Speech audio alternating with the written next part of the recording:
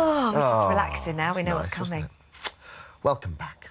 Time now for our new cookery series. I don't like it when cooking's, but FYI, I don't like it when cooking's not actually in the kitchen. Neither do I, because we can't eat it. Yeah, that's really the reason why. Well, it's called Comfort Cottage. It's with Lisa Faulkner. She's rustling up some winter warmers uh, suitable for the whole family. Today, it's all about chicken Kiev, Your which is my absolute favourite and the first thing we ever cooked when I first started this morning at my request, and treacle tart, which I also really like, and none of them are here. Fair. This is the worst day of my life.